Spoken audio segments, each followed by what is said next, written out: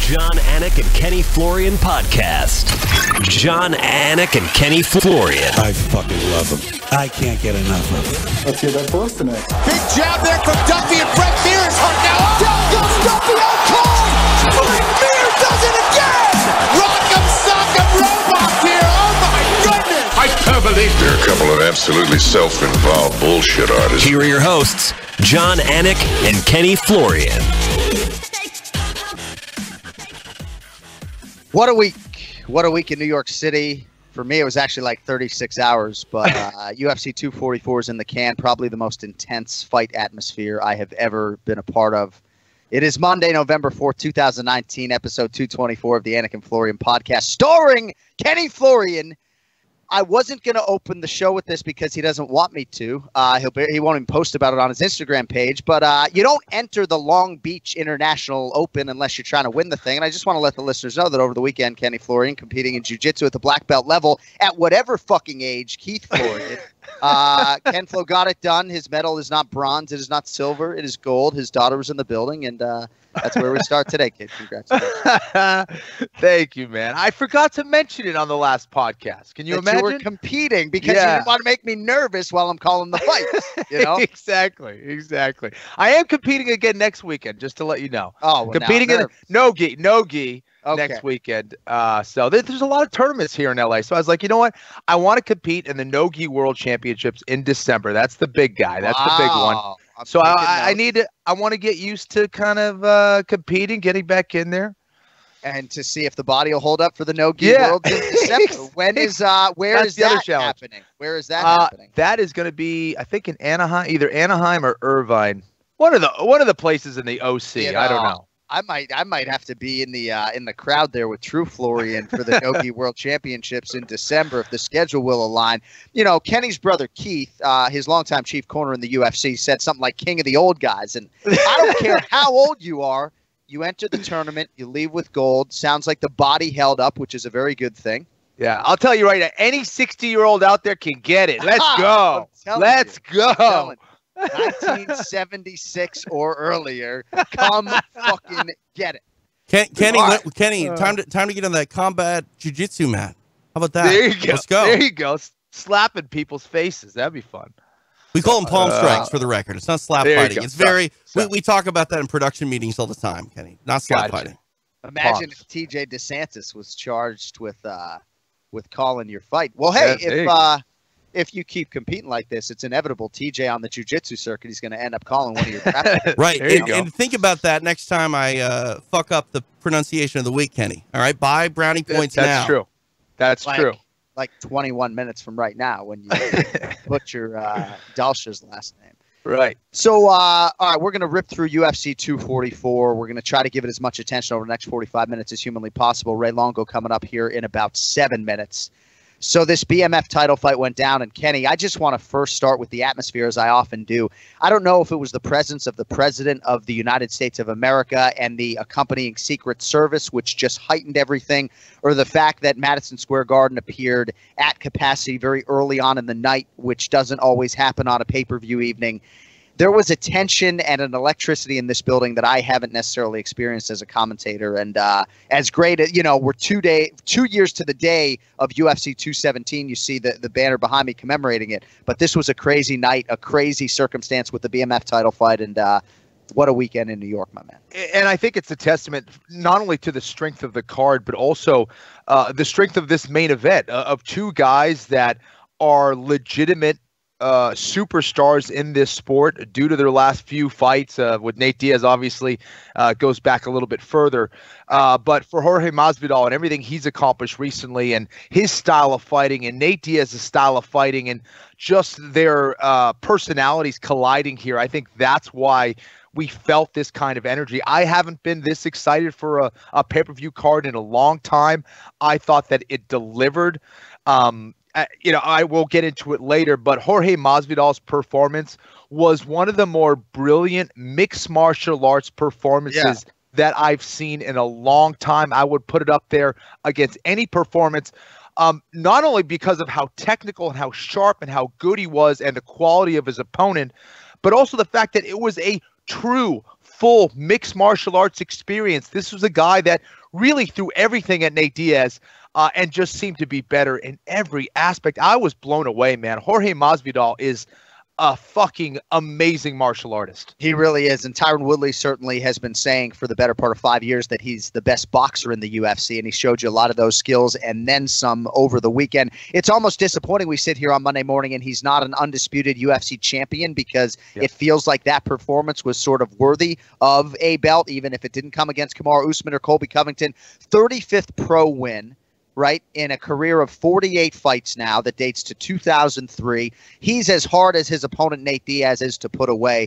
Uh, what else can you tell us technically about the performance that blew you away to such an extent? And and I'm happy to hear that you were this excited for this fight because candidly, when there isn't an undisputed title, Right. you know, sometimes it's hard to get to that level. But clearly, you were there. And that's what's so cool about it, right? Yeah, there was the, the BMF belt and all that stuff on, on the line, but that's not what brought people in. It was these two personalities Yeah. colliding with all these skills. For me, Jorge Masvidal, his ability to just be effective defensively, he never let Nate Diaz get started. I don't know if Nate Diaz really landed a clean punch. May- Maybe one, and it looked like Jorge smiled and returned with a beautiful combination. But Nate was trying to put the pressure on him.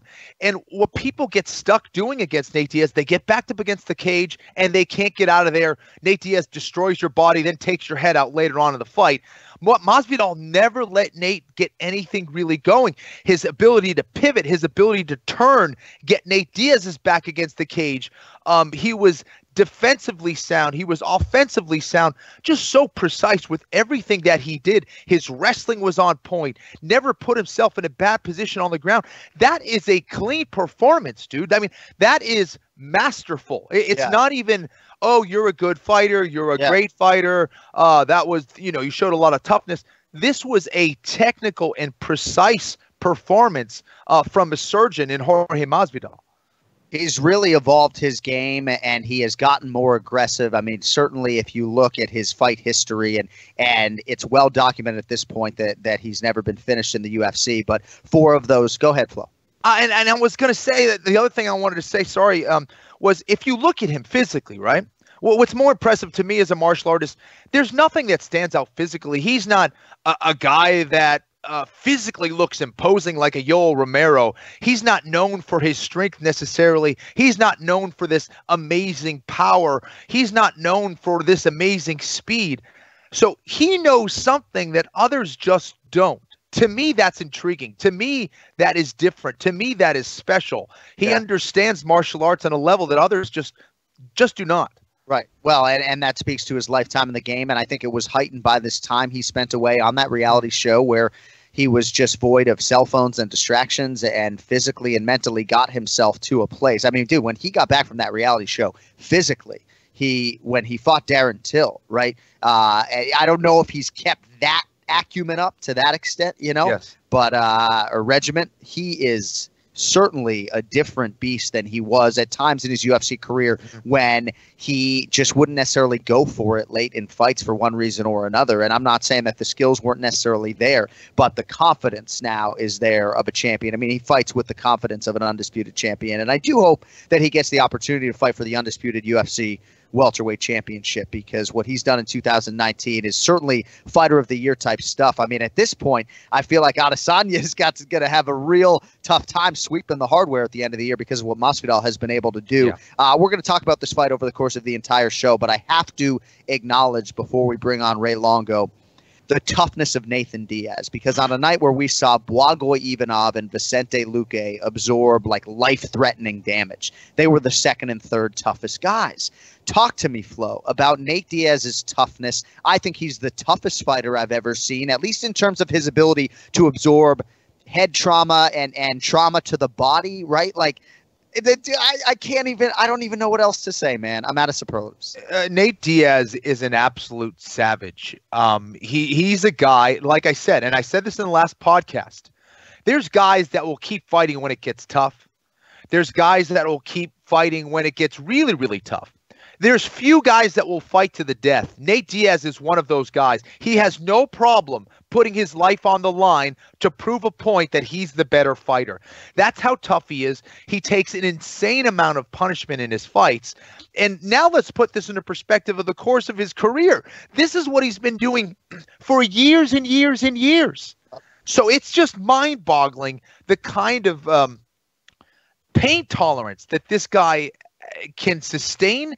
His hunger, his motivation to win a fight is unlike anything out there. Uh, Nate is an OG for a reason. There's a reason why everyone wanted to see this fight. There's a reason why people will continue to wa- to watch Nathan Diaz fight. Yeah. Uh, he's a stud, and um, I- again, I- I'm just amazed by him as well. Um, and again, this is what makes Jorge Masvidal's performance so impressive: is that he did this against a Nathan D- Nathan Diaz, um, who's at the top of his game right now. Yeah, he is. Couldn't have much more respect for for Nathan Diaz in defeat over the weekend. All right, today's Ray Longo Minute brought to you by OddsShark.com. OddsShark, your source for the latest odds from leading authorities, expert editorial content, and detailed matchup picks with expert in-depth analysis for each game. Their free statistics, numbers, and trends will help you make the sharp picks on game day. Head over to OddsShark and start playing like a shark today. OddsShark.com. Don't forget that second S. All right, let us get to Ray Longo. It's now time for the Ray Longo Minute. I want you to punch a hole in his fucking chest. That's what I want. The Ray Longo Minute. Starring Ray Longo. The Jon Anik and Kenny Florian podcast.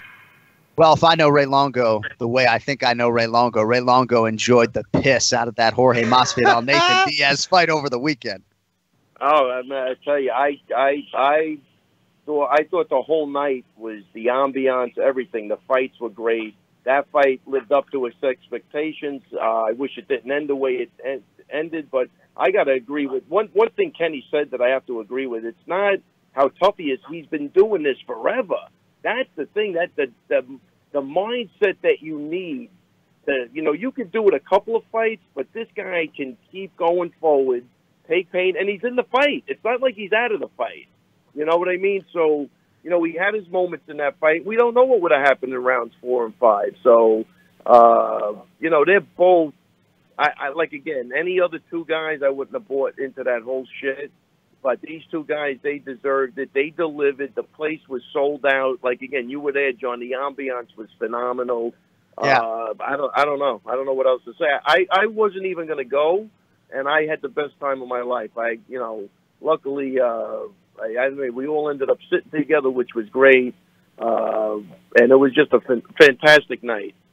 See, Kenny, I just wanted to piggyback on the ambiance, right? Because here is Ray Longo, a lifetime in the fight game, who just told our audience unsolicitedly that this was one of the best nights of his life, right? What was it, Ray, about? Was I.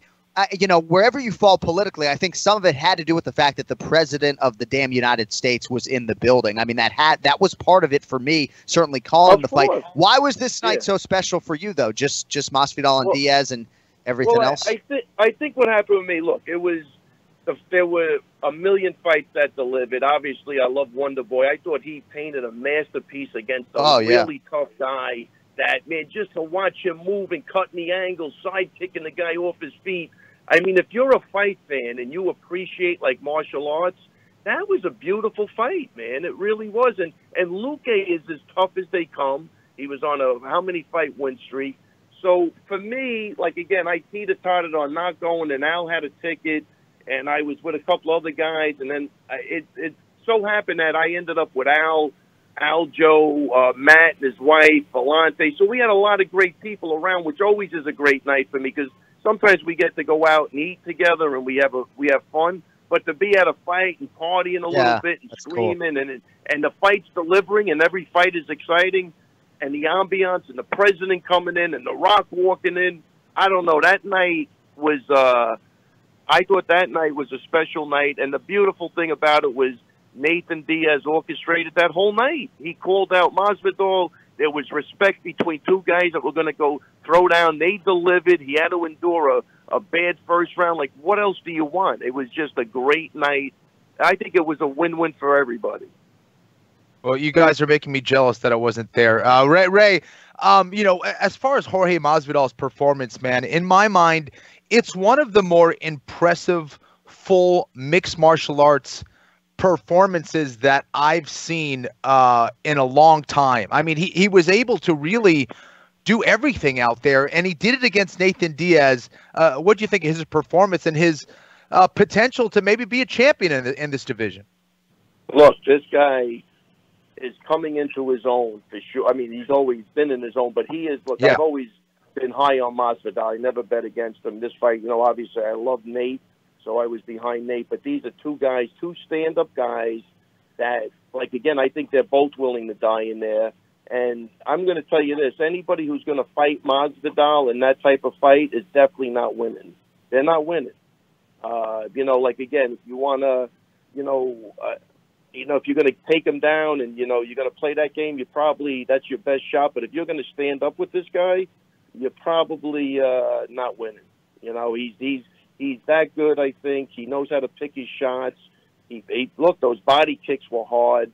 Uh, he throws with bad intentions, and that was the game for me. Could he stop uh, Nate from you know throwing a lot of volume at him?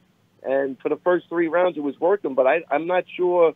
You know, I think at one point, you know, he figured, look, I'm not going to knock this guy out. I got to start conserving my energy. And uh, I would have loved to have seen rounds four and five. I really would have. Matter of fact, I would have liked to have seen rounds four, five, six, seven, eight, nine, and ten. I don't think either of those guys were stopping. Yeah. No. You know, So, yeah. So I guess when when Jorge Masvidal was walking back to the stool after round three, you know, I saw maybe something different, Jon. There, a yeah. little So bit. no, right. So I thought at that point, finally, he showed maybe a modicum of frustration that he hadn't been able to get Nate Diaz away. I wouldn't go as far Yeah. as to say he was fatigued Yeah. or anything. Um, Right. But in terms of the cut, what is your understanding as to uh, to what should be done in that situation? And do you think ultimately, how did all parties handle it? Cut man, doctors, things like that. Uh, look, the cut was pretty bad, but I, if I'm, I, I mean, I think I would have said uh, to the referee, "Listen," and I would have told Nate, "You got, you got one more round to do this, and then I have to stop the fight."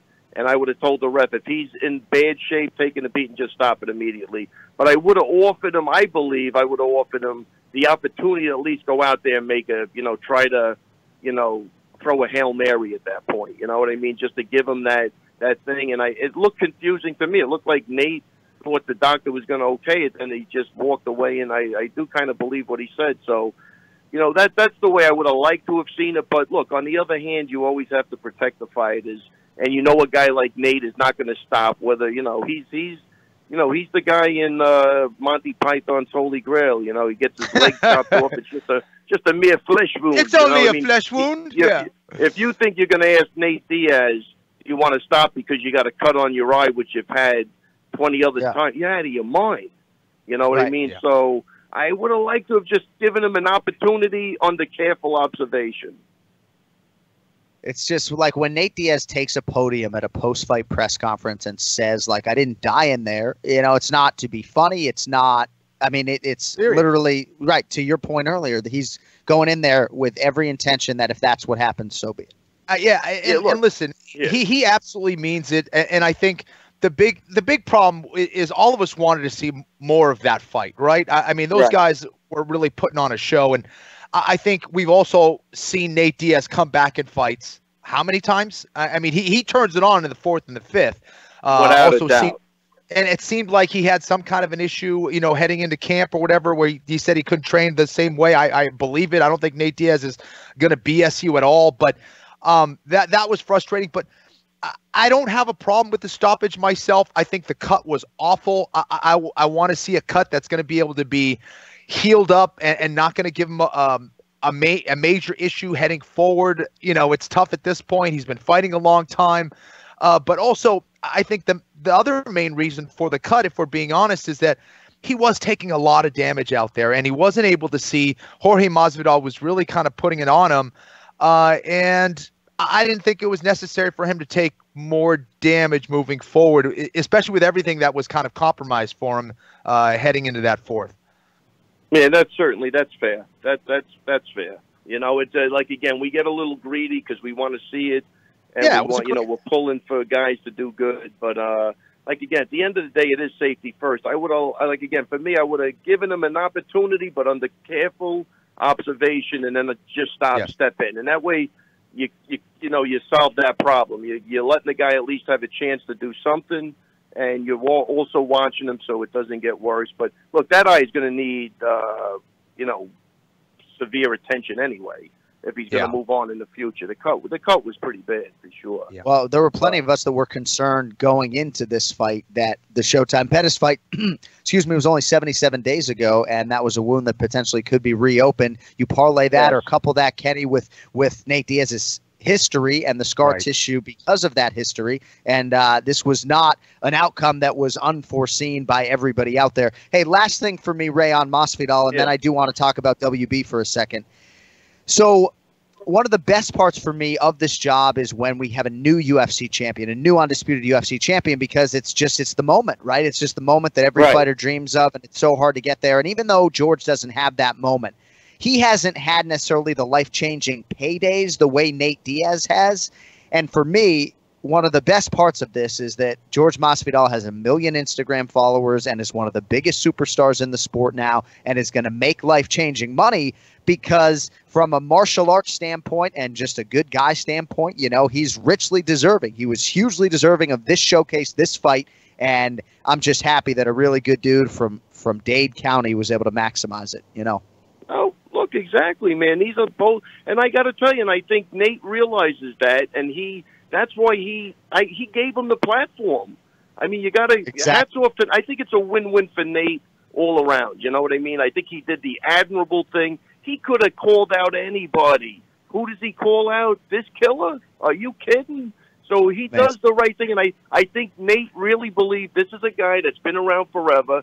That's not getting his just due. I think he was in that position one time, and he was right in the wrong. And I think you got to hats off to Nate even for even thinking like that. He could have definitely taken an easier fight, but uh, you know this fight. I don't know. That that's the the beautiful thing about this was it was two guys that should be fighting in the main event that nobody had to promote, nobody had to get Yeah. involved with, and the people spoke. The people spoke. They showed up, and that's all that matters, man. You know what I mean? So as much as I like the other champs and all the other stuff going, you know Yeah. what?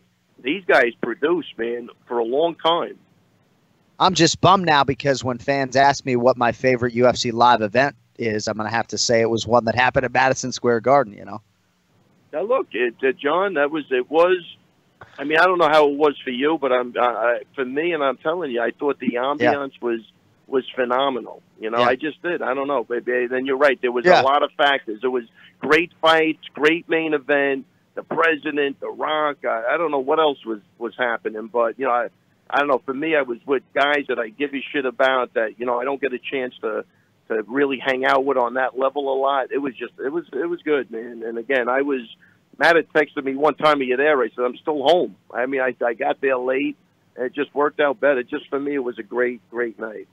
Good man. All right, last thing before we let you fly, because I know you're pretty close with Stephen Thompson and his father Ray. I will never forget the visual of him after getting knocked out by Showtime Pettis, sitting on the stool in Nashville, Tennessee, stool in the middle of the octagon after getting knocked out cold by that roundabout Superman punch, and Thompson sitting there thinking like, man, this has never happened before, really. You know, something like this, right? I've been doing these Right. striking competitions, you know, since I was 15 years old. I'm 36. What the fuck is this, right? And everyone's wondering how he's going to come back, right? And he just, in my humble opinion, turned in the shining performance of his entire career in front of the the best crowd of his career. And I just feel good for a guy who a lot of people were wondering if his better days were behind him, and uh, clearly that does not appear to be the case.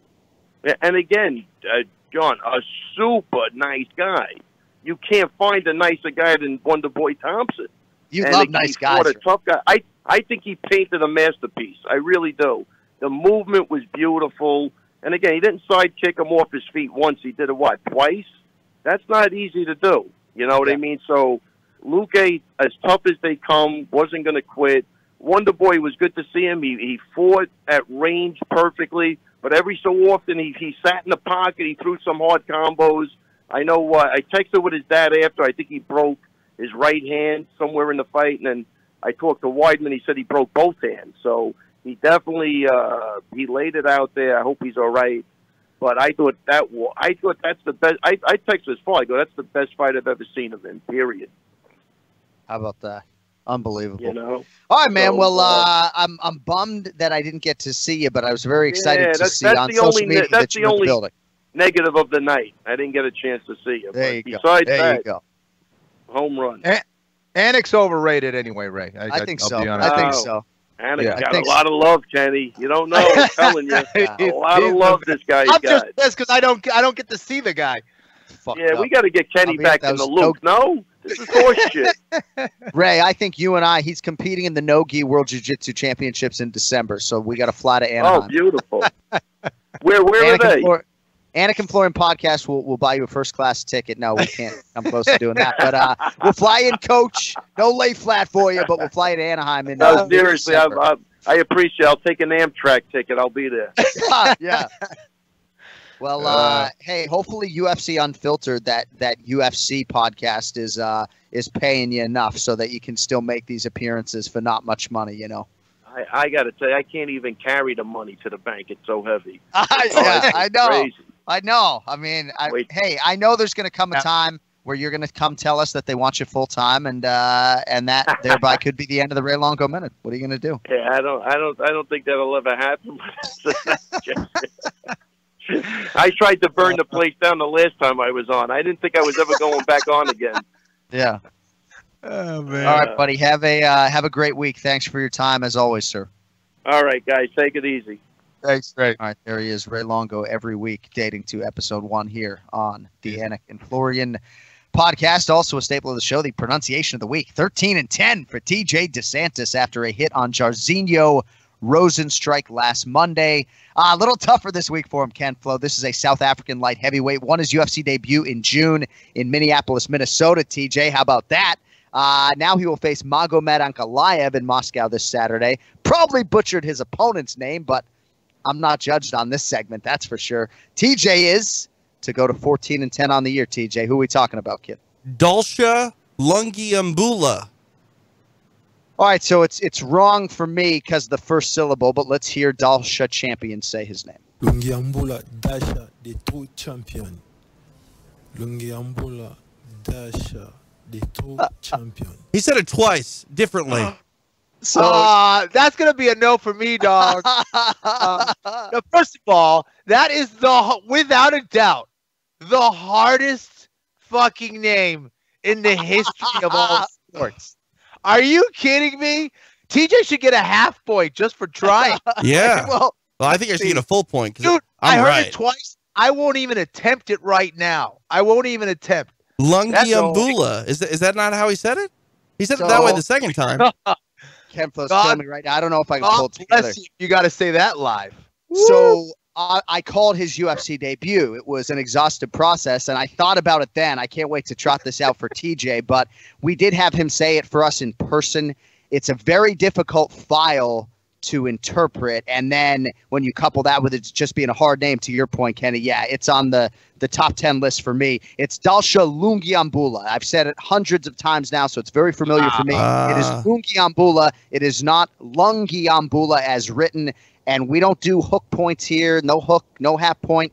13 and 11 for TJ DeSantis uh, on the year. TJ, I tried, man. I had your back on this one. I usually don't, but uh, I would have given you a half point. And the listeners always have your back, so we'll see if there's enough steam to give you the full point. But I'm not, I'm not, you know. It, it's be, it's because I'm right most of the time. I mean, that's Yeah. why you know you- there's haters over here.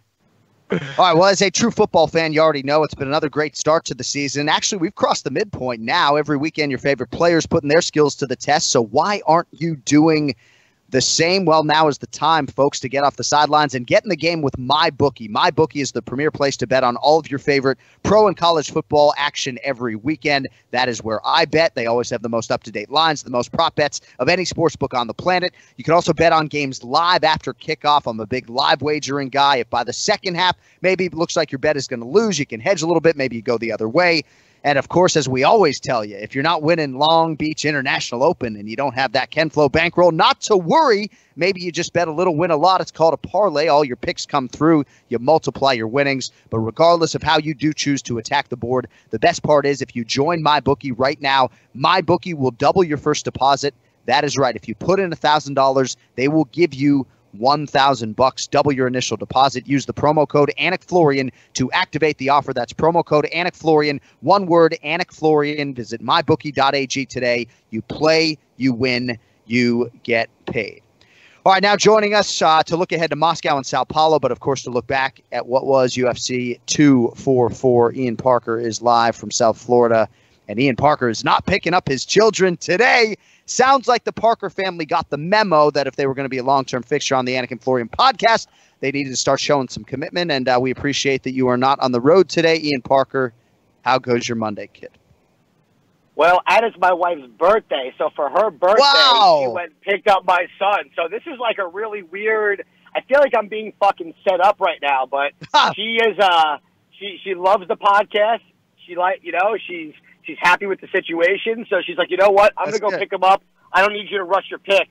She wants the momentum to carry over and keep burying Kenny Florian every weekend. I love it. Let's go. it. Well, well, I'm not going to wish her a happy birthday because you know this is the first time in like 30 Mondays she's agreed to this situation. But maybe down the line, uh, if this trend continues, she'll get a happy birthday out of me. But we do appreciate your sacrifice. And uh, I always love your texts on Fight Night, Ian. Uh, love doing the Instagram live with you, which we did on Friday with Ken Flo, and of course on Saturday, you and me.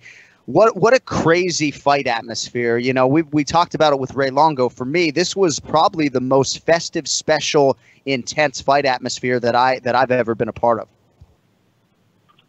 Yeah, I mean, listen, I, I was sitting here watching this from home with uh, just the fights didn't disappoint, man. You know, it, it was crazy. It seemed like everyone was into it. You know, between The Rock, I mean, however you feel about the president, just overall. And uh, one of my favorite parts is when all these knockouts happen.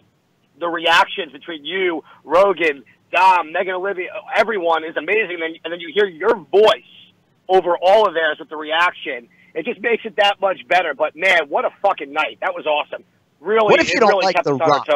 Toes. What if you don't like The Rock? You know, it's so funny. Like all of us have to couch. what we Nobody, nobody about- doesn't like. The I know, Rock. of course. lie. Well, that's that's the point. Is that his public approval rating is as high as any celebrities ever, probably, right? But I just think it's funny how every time anybody even invokes the president of the United States into this conversation because of the climate, you have to qualify it or couch it a little bit, right? Juxtapose against The Rock, who is just as beloved as it gets, and and we shouldn't shortchange The Rock in terms of what he brought to Fight Week in this event because uh, it certainly made it more festive. As far as the fight is concerned, Ian Parker, Jorge Masvidal, Nate Nate Diaz, uh, what were your thoughts on the 15 minutes that we saw this weekend? Well, you know, I, I wrote to you beforehand that I that I, was- I laid some nice money on Masvidal late because that was a really up and down, crazy betting night for me. Um, Masvidal looked unbelievable. I thought, first off, I can't believe these two go into this fight, and Masvidal has the uh, the humor side of it, his personality to fake the running knee, and Nate reciprocated that humor, and it, it was really good to see the level of respect between the two, you know, and that fight was just, oh man, Masvidal was flawless. He looked good. He didn't let the bright lights get to him. He shined in his moment. And Nate is just so tough, man. There's just no quit. Although we already know that about the Diaz brothers, but how many people would have been finished by that combo, that hook to that kick? I mean, that kick was almost illegal. You know, the way how low Right. Nate dropped, and and Masvidal wasn't slowing down. Listen, as a fan, I wish it went five rounds. We've seen worse cuts. The New York State Athletic Commission is kind of known for being a little bit soft. And it's a shame, but that cut was pretty significant. Here's the thing, though. I don't think Masvidal was slowing down. I think, if anything, you, you know, it would have just kept going. But, uh, man, Masvidal, if I was him, either give him Conor for that payday or let him get the winner for a title shot because what a year Yeah. for that guy, man. Unbelievable. Kenny, am I wrong in thinking that 99% of fighters in that weight class get finished by that combination? I mean, what You're the not wrong. You're not wrong. Uh, The only that that one or maybe 0.1 percent is Nate Diaz. That that's Yeah. the only reason. I mean, uh, again, his performance was masterful. That that was absolutely a surgeon at work, man. I, I was I was blown away, and it just for me it just gets more and more impressive with each day that passes. Ken I want to lead with you on Kevin Lee. His back was up against the proverbial wall. This was a huge fight to kick off the pay per view against the 13 and 0 Gregor Gillespie. Gillespie was the betting favorite. Kevin Lee said this was the most dangerous fight that he has ever signed a contract for. Uh, and I do just want to say, Gregor Gillespie literally texted me five minutes ago. First time in my UFC career that I haven't spoken on the mic to you about fishing, but just so we're clear what I'm doing, in Ken Flo, you can see there's the picture of Gregor Gillespie on the fishing boat. So they haven't winterized it yet. Uh, but how about Kevin Lee, right? So many doubters. He goes to the man who was your head coach in your final UFC fight, Firas Zahabi, who has really provided a stabling – unifying force in that corner. Maybe a lot of things Robert Follis provided. Firas is doing that, and perhaps and then some. And uh, what a huge, huge moment for Kevin Lee on a night in which he really needed it. Kevin Lee chose the right guy to become his head coach. Uh, Firas is just an awesome man and a, and a great coach. Um, I, I did not see that coming. I thought it was going to be Gregor Gillespie taking Kevin Lee down uh, round after round, stealing rounds and winning a decision. Uh, Kevin Lee did a great job of lowering his level. He was staying eye level with a shorter Gregor Gillespie. And I think that's why Gregor was a little hesitant in shooting. The first line of defense is your head, the second line of defense, the takedowns, are your hands. And him being at that level, I think, uh, made Gregor hesitant and even attempting uh, a takedown there. So uh, I thought Kevin did a good job with his stance both guys were a little iffy in the pocket, but more than anything else, to me, and people on Twitter were, telling me, well, Gregor Gillespie out jabbed Kevin Lee. What are you talking about that Gregor Gillespie looked uncomfortable on the feet? He did not look comfortable on the feet. I don't care if he landed a thousand jabs on the feet. His his head was straight up. He looked hesitant with his striking. It looked like he was going to get hurt with something at some point. Kevin Lee is still a wrestler. He's not necessarily this unbelievable striker. But to me, you started to see a knockout happening at some point. Gregor Gillespie was biting on the feints. He was not feinting his way in. He was just trading in the pocket. And it's anybody's it's anybody's fight at that point when you're throwing such hard leather in tight like that. And I didn't like that for Gregor. Um, and ultimately, it was that brutal left high kick by Kevin Lee that – stunned everybody, man. What a shot. That is as brutal of a knockout that you will see. Kevin Lee's back was was kind of up against the wall here, and man, did he deliver a performance against an undefeated and tough ass Gregor Gillespie. Ian, you got anything for me on, on Kevin Lee and Gregor Gillespie? I, you know, this is how I thought it was going to go down if there was no takedowns involved. I think people tend to forget the level of competition Kevin Lee has been fighting at for a good amount of time. He's not losing to slouches, and this is the first what top ten guy Gregor Gillespie's fighting.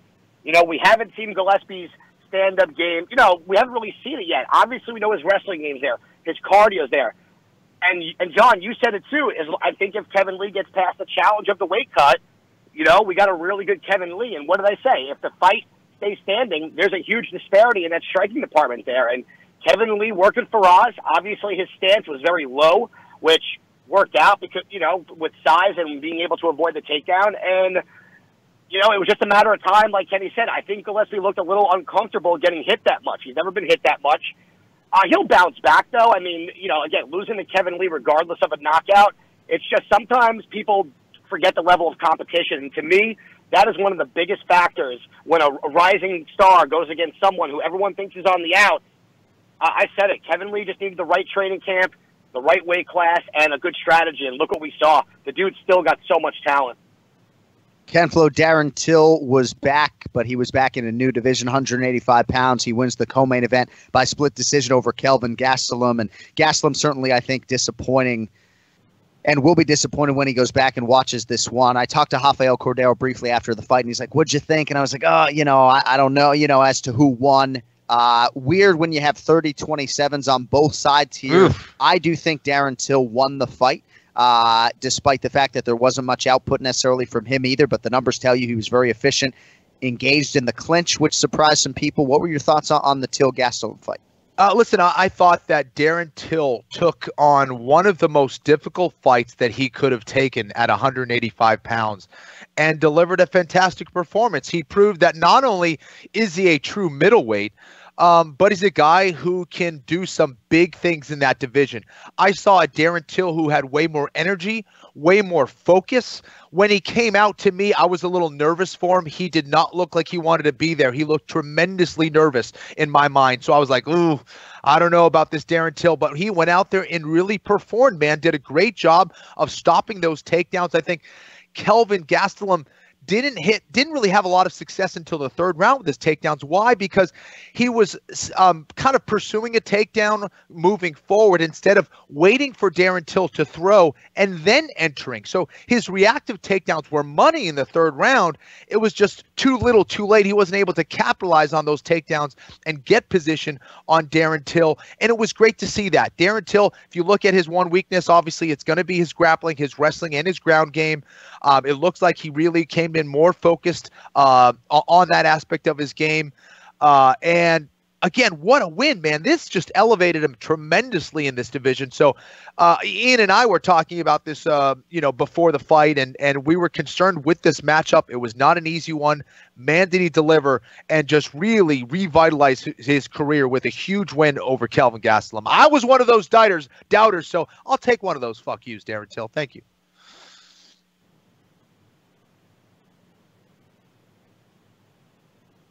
We can't hear you right now, Jon. Yeah, I can't hear Jon at all. No. Can No. you hear me now? Test No, one, there two. we go. There we There go. we go. what's going on? Sorry, I think I muted it to blow my nose there. I apologize, boys.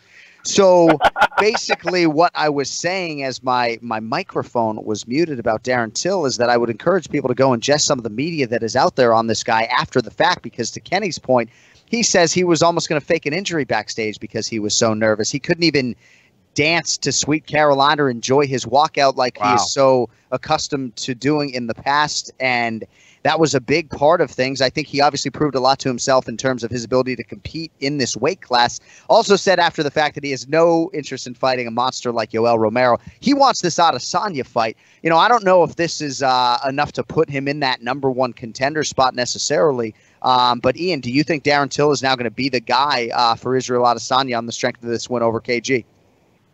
I, I don't. Um, I think you know. I think what this fight did was it's going to give him confidence to kind of get rid of that fear and really understand that this is where he belongs in the weight class. I, you know, I, I don't want to. What's the word? For, I don't want to knock down Darren Till with this win.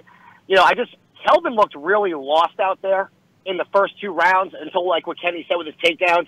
He, he couldn't really get on the inside. Um, Darren Till maybe just did a great job frustrating him using that length, using the reach. Those kiss, those kiss, listen to me, those kicks looked really good. I, really would. Uh, I don't think Till is anywhere close to ready for Adesanya. If anything, if you want to keep him at the top, which he has to be, maybe have him fight Jack Hermansson. You know, I think that would be a nice a nice fight um, at 185. You know, as a real test. I think Adesanya is leaps and bounds ahead again you know, he surpassed expectations. He got a huge win despite the fear of getting back in there against a really tough Kelvin. But don't don't rush him into a title fight. Uh, there, there's really no need for that. But I will tell you, I'm, I'm I became a really big fan of Darren Till. Some of those interviews, I told Yeah. you, it's like listening to Brad Pitt in the movie Snatch. I can't understand a fucking word he's saying, Yeah. but I love it. You know, and it's hilarious. And then the thing with Yo Yeah. Romero, his honesty really sells me. You know, it's the first time Yeah. we kind of got the uh, the emotional side of him. And good kid. Yeah. I'm happy he won for you know for him at age 26. Sky's the limit. Don't don't rush him. Yeah. All right, congrats to Corey Anderson. Huge win over Johnny Walker as he at least momentarily derails the hype train for Johnny Walker Blue. Shane Burgos is incredible as a featherweight. I wish we had more time to give him some love, but you know I carved out at least 120 seconds for the middleweight future, the new breed, Glendale Fighting Club, Armenia, Edmen fucking Shahbazyan Ken Flo. He was born in 1997. I was a freshman in college when Brad Tavares made his UFC debut. Edmen was 12. He thinks he got to the UFC maybe earlier than he might have been ready to. Uh, but look what he's done, right? Less than a year on the roster. He's now 4 0 in the UFC. And he does, against Brad Tavares, at least on paper, what Yoel Romero and Israel Adesanya have not been able to do, and that is put the man away. I'm all in. Chips to the center of the fucking table on Edmen Shahbazyan. He's gonna be fucking shabopping people in the head for a long time. There you go. He's a he's a beast, man. I mean, uh, I, I love his composure. Again, this is a what he's 21 years old. Uh, I mean, the, the the composure, the technique. I was really impressed with this guy. Um, I, I think he needs to be careful when he gets in the pocket a little bit. His head is a little bit uh, too upright. He needs to move it a little bit more when he gets close in the pocket. Uh, but for me, that's the only thing that I saw that he needs to be careful with. Everything else um, was just beautiful to watch. This kid has power. He has speed. Uh, he has composure. he is going to be tough to beat, man. I, I love his focus. Um, I, I, think he's a guy who really could be a big time superstar in the UFC, man. I, I'm excited about this kid. And I'm not saying Edmen Shahbazyan right now is on the level of Israel Adesanya, who is the champion in his division. But when you think about what he's been able to accomplish inside of a calendar year, and then you look at what Adesanya has been able to do and get into 7 0 in the UFC, you know, one thing Edmen's doing that maybe Israel wasn't necessarily doing every step of the way is just putting guys away violently and quickly and viciously. I know the strength of schedules are obviously different, but look what he did. I mean, this was a pick'em fight according to Las Vegas. At least when we did our show, it closed much differently than that because sharps like you were loading up on Edmen. Um, but Tavares was at the height of motivation, had been off since last July. 17 UFC fights against a who's who of UFC middleweights, and Brad Tavares spit him out like he was, you know, with all due respect, another Jack Marshman. Yeah, you know, this is one of the fights we were talking about on Instagram Live when I said that I was really going heavy, but people were making me a little bit scared because they were pumping up this whole Brad Tavares, you know, emotion, motivation thing. And I, I said, bullshit. I don't care. I, this kid's the real deal. Yeah, listen, it seems to be a theme with these young guys. You know, like to your point, Adesanya, I think it was his second fight against Marvin Vettori that went to a decision. You know, Brad Tavares dominated by decision. And this dude is at 21 years old. And to what Kenny said, I think the most impressive thing about him was his composure and his patience. You know, even in the pocket, Kenny was right. There was a few moments where he got hit a little bit, but his face didn't change. That poker face at that age, unbelievable. And that right hand, I don't know if I've ever seen a more perfect right cross like that. That was bananas, insane. The sky's the limit for this kid. I'm excited. I mean, you know, I'm hoping a year from now we're talking about him versus Adesanya in the main event. I don't care where it is for the title. That's a fight to watch this kid's got something, man. Unbelievable. And his timeline dovetails with your vision too. He said by the end of next year, he really believes that he will contend. All right, let us spin this thing forward to Moscow and Sao Paulo, time permitting a, a, few more items on 244 on the back end, but updating the standings here in the main event challenge 134 to 130 was the lead for Team Florian heading into the weekend. Ian Parker wins the week, folks. 8 no. to 6 was the final. The big swing fight, Kevin Lee as a plus 130 underdog. So the lead is now two, 140 to 138 for Team Florian heading into UFC Moscow. And because we might actually be dark next week, boys, we are going to need a main event selection today for Sao Paulo. Jan Blachowicz versus Jacare Souza. First fight for us, though, is coming up this weekend. ESPN Plus from Moscow. At welterweight, the former Combat Sambo world champion Ramazan Emeev looking to go to 4 0 in the UFC, seven straight wins overall. He is the minus 160 favorite here as he faces Anthony Rocco Martin. Rocco plus 130 here. Ian Parker, who do you like? I like Ramazan uh, here. You know, I, I think his style plays into where Rocco Martin's going to have a little bit of trouble. And I'm not saying he's a Demian Maia level ground guy, but – you know, when it comes to the strength and the physicality, I think he has the edge. I think he'll be able to maintain top control and kind of grind out a win here. Stand up wise, Rocco striking is, is okay. He's a very tough fighter, but I just think with the Maia fight, we, we saw the holes uh, where a grappler can take advantage. I don't think there's much more of a breakdown to, to, you know, I'll leave that part to Kenny with this one, but I like Ramazan here. I think he grinds this one out. Hey, give me the two syllables, just my. Uh, let me hear you say Maya. Maya, Demian Maya? What do I call him? Maya? Maya? Maya? Maya? yeah.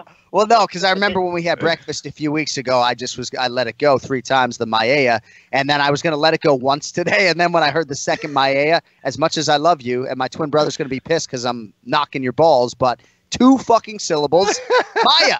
Maya. He's Maya. a stickler. He's a stickler. You think he does these pronunciations, be, be, you know, because he doesn't like these things? I mean, he's, he's, he's all over you now yo, you want to know what's the best part about this? I don't give a fuck because in betting you don't have to spell or pronounce shit. I'm just, but Jon, I am sorry. I, I, Jon, I am sorry. I know that really bothers you. So, uh, I'm honestly, uh, fuck it. I'm done. No, it's all good. It's, yes, it's really. He's done. All, all, I heard, all I heard was I beat Kenny eight six this week. I don't know. Yeah, yeah. Oh, you're not quitting the show? I thought I thought he was quitting. He said he was done. who is that? who who is that? I haven't heard from him in twelve weeks on the show. Who is that? Keep in mind, I can shut you off at any time, Parker. Anytime. That is true. That is true. He's got all the sorry, power. Wizard of Man. sorry, Wizard of Oz. My bad.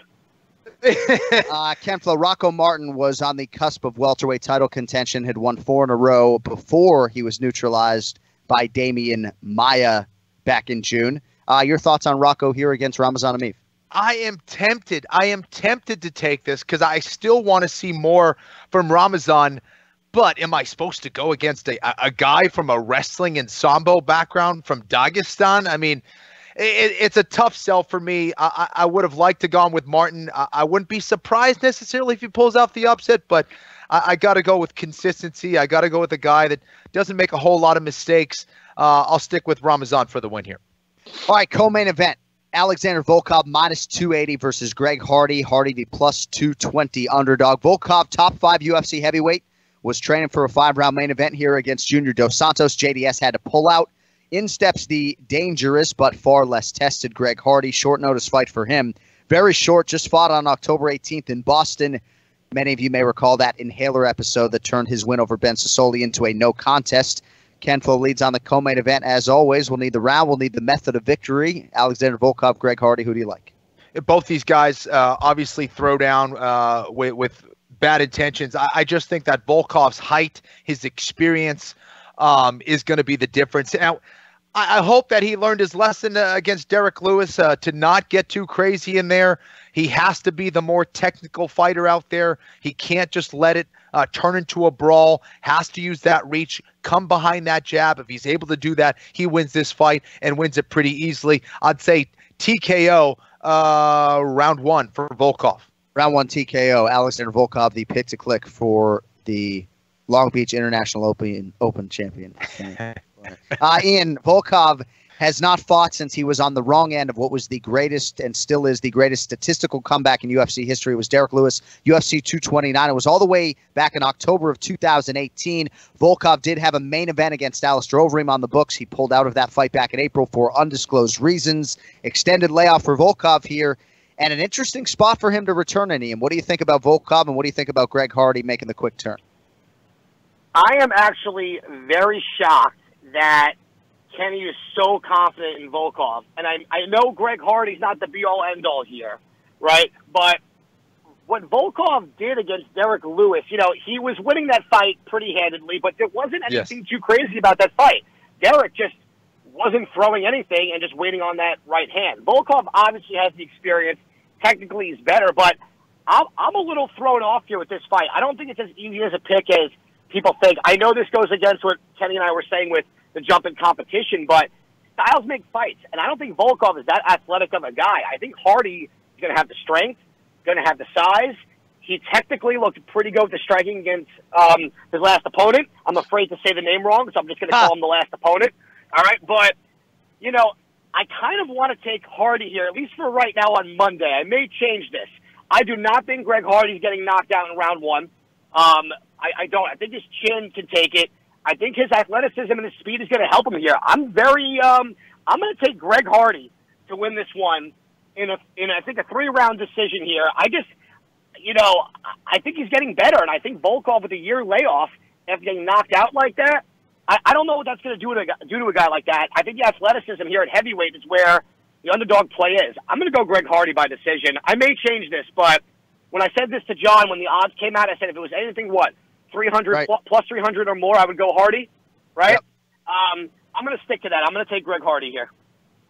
Very interesting. See, I wouldn't be surprised if he just swats the inhaler in the inspection zone and then just goes balls to the wall in round one and goes for the first round knockout. And fuck if he doesn't get it, you know. But uh, I'm a Greg Hardy fan. They're, I'm an Alexander. They're, they're in Russia. Inhalers are definitely allowed. We're good. Yeah, yeah. You can use anything in Russia. I, I do yeah. like Volkov too, though, man. It's like if you look at the body of work and you look and you think about what could have been if he had just held on and gotten on a damn bike against Derrick Lewis, right? Had yeah. a, a plus 82 strike differential against Derrick Lewis in an eliminator type spot, you know, um, and now has been out for for more than a year. All right, so if you like Ian Parker, you're loving the show today, right? Because now would be the time where he would have to go get his kids. So you're getting Parker overtime today as we transition to the main event in the featherweight division, three rounder, because that is what it was initially contracted for. Zabit Magomedsharipov minus 280. Calvin Kattar is plus 220. We will need the round and the method of victory. Ian Parker, who do you like in the Moscow main event? Oh, this is so tough. This is so tough. Um, I think, oh man, man, you know, Zabit's been obviously one of the more highly regarded prospects in a long time. The one thing I've noticed about him, though, in the later rounds, he is starting to fade. You know, cardio has been a little bit of an issue. You know, in the Kyle Bochniak fight, that one was a little concerning to see. I just, I think Calvin is just got the momentum here too. Um, confidence through the roof. I know he went from fighting in his backyard to fighting down in his opponent's backyard. I'm so tempted to take the underdog here also. I think his cardio is going to be better. I, I like his boxing here. I like his confidence right now. Can Calvin keep the fight on the feet? Can he prevent getting taken down? That's my only concern here. Um, and if he gets taken down, how fast can he get back up? Man, this is this is a really tough. um, you know what? I'm I'm I need to make a comeback here against Kenny. I'm down two points. I already got one underdog. It's Monday. Fuck it. I'm going Calvin Kattar. I'm going to take him by decision also right now. I'm hoping his boxing in the pocket and this cardio take this. I'll say Calvin by decision. All right, Calvin Kattar by decision. And I think there's going to be a lot of Kattar love on the show today, and it's not going to be because there are Massachusetts guys in the room. And Kenny, I'm going to say, with respect to you, who I believe to probably be the best UFC fighter to have come out of Massachusetts. See, you're smiling, but I went, I did all my research today. I looked up all the New England talent, right? Glover Teixeira doesn't count. That's Danbury, Connecticut. But, you know, maybe I was really nice to you off the top of the show, but I'm going to sit here and say that with respect to Kenny Florian, Tecia Torres, Joe Lauzon, Gabriel Gonzaga, who spent his entire career training out of Massachusetts, John Howard, uh, and anyone I'm forgetting, I do believe Calvin Kattar might be the best overall fighter to ever come out of Massachusetts. I think he has the chance to be a world champion. If that is the case, he's got to get by Zabit, who is 17 and 1, has won 13 straight overall, has never lost in the UFC, has plus skills and finishing instincts in every phase of the game, trains like an absolute maniac. Uh, but I think Kattar's on his level, Kenny. I think this fight is closer than the betting odds are, are suggesting. What do you think about Kattar and Zabit in Moscow? And, and ultimately, do you, who do you think gets it done?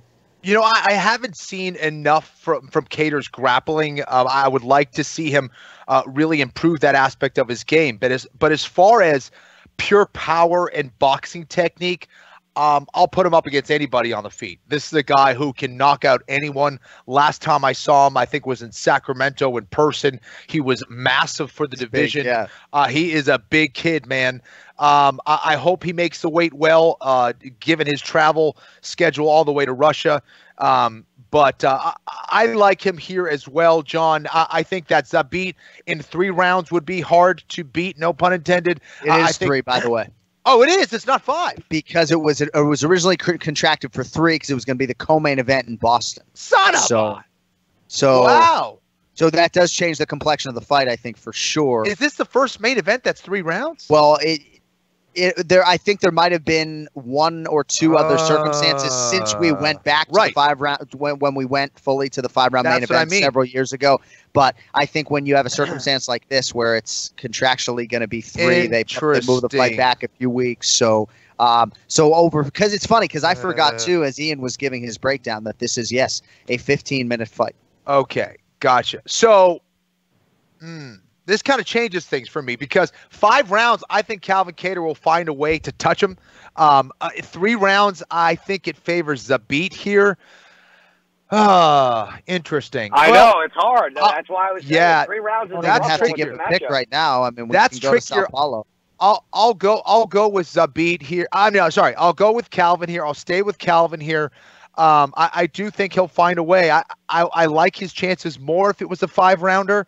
Um, but it, it's going to be more challenging in three rounds. Zabit moves pretty well um, and has done a good job of utilizing his his length. And as big as Kattar is, um, Zabit is still going to be a little bit longer and rangier and utilizes his kicks very well to keep him on the outside. I'll, I'll stick with Kattar though. I, I think Kattar will find a way to get it done, and will get it done by decision. All right, Calvin Kattar by decision for Ken Flo and for Ian Parker as well. All right, on the way out, boys, Sao Paulo show is coming up November 16th.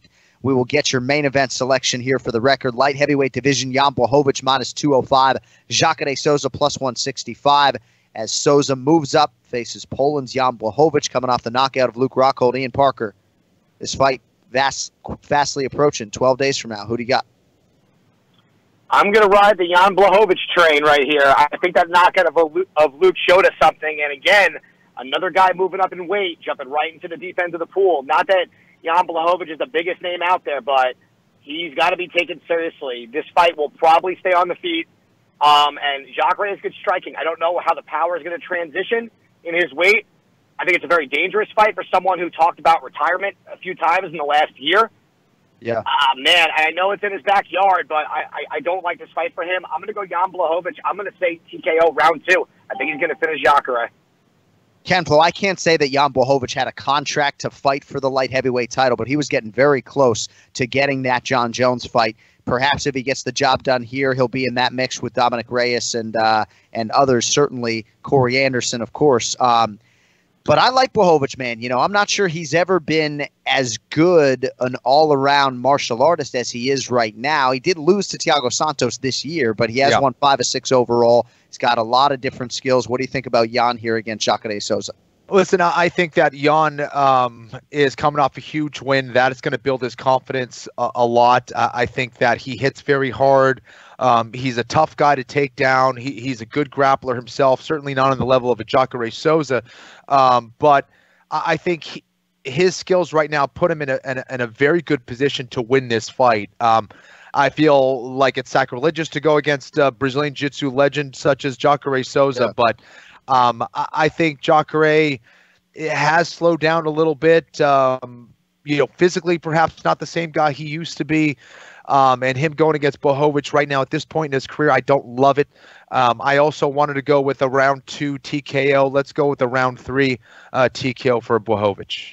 So I was doing a little research today. Both Souza and Blachowicz lost their pro debuts, but for Jacare, it was all the way back in 2003. Jungle Fight One. Right, this dude's competing at the same night. Stephan Bonnar fought Lyoto Machida. One thing we didn't spend a lot of time talking about was the fact that, at least if my research is accurate, Jacare's never competed in MMA at 205 pounds before. Yes. and he's fighting Yes. a big light heavyweight in I Jan know. So, uh, got to think that's part of the narrative going in as well. All right, Ian Parker. Anything else before we let you fly, kid?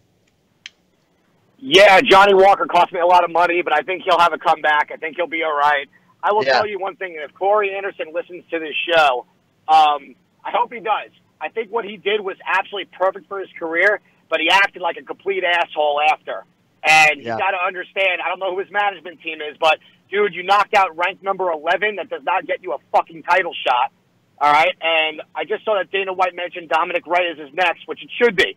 I would like to see Corey Anderson fight the winner of Jan Blachowicz versus Jacare Souza or fight Anthony Smith.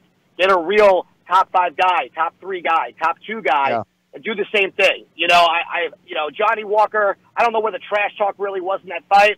Corey Anderson fought flawless. It was amazing, but you know, talking about either give me a title shot or release me, that's a joke, dude. He's not a marketable guy yet. Just Right. accept the win. You derailed the hype train. It was awesome. Now go fight another top contender and do it again, and then we'll talk about a title. That that shit bugs me.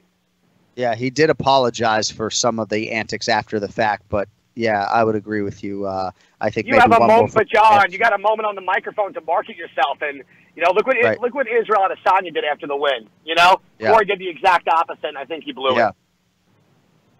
All right, my man. Good stuff. Thank you very much. And uh, we look forward to talking to you probably two weeks from today. But we'll be on Instagram Live and, and might have some special YouTube stuff for you guys over the next 10 days or so as well. Ian Parker, thank you very much, buddy. We'll talk to you soon. My pleasure, guys. And Kenny, congratulations on the win, bro. Yeah. Thanks, Thank you. Let's fucking go. Any prize money with that? They give you like a thousand bucks for winning that thing? Bagel. Got a bagel. That's all right. I think you got a nice piece of gold. You know, Good. There you next time, put the gold medal in your fucking mouth. Take have Clark take a picture of you and put it on Instagram so that I can repost it. Okay. There we go. There we go. Yeah. See, Oh, see. that's There what you I'm talking about. All right. Well, congratulations to you. We got to get out of here. Thank you to our guests, Ray Longo, Ian Parker. Thanks to everybody who continues to listen every week. Numbers have really been strong, and we appreciate every last one of you. Thank you all for subscribing to the new YouTube channel as well. Please subscribe. Tell your friends that video is worldwide, as the audio is, of course. Um, likely off next Monday. I'm going to be at Disney World with my kids, but as I mentioned, we might push out some content on that YouTube channel middle of the week to get you ready for uh, for the Sao Paulo show. Jacare Souza, Jan Blachowicz. So stay tuned to social media for that. Next full episode likely Monday, November 18th, 14 days from today. Till then, Ken Plum, John Ann. Thank you all. Be well. Don't text and drive. Yo, fucking later. The Jon Anik and Kenny Florian podcast is a TJ DeSantis production. Its content is intended for private use only.